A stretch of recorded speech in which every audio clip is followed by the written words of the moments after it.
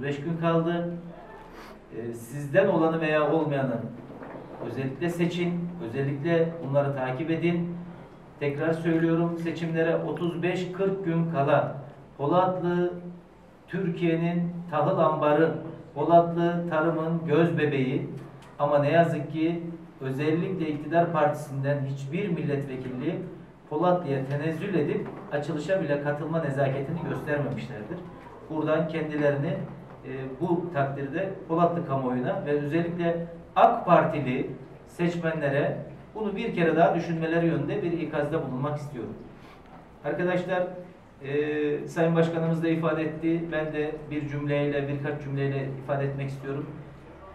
Filistin'deki kan durmadıkça Orta Doğu'daki gözyaşı, dünyadaki gözyaşı durmayacaktır. Bu nettir. Ee, az önce Saadet Partisi ziyaretimizde de bunun altını çizdik.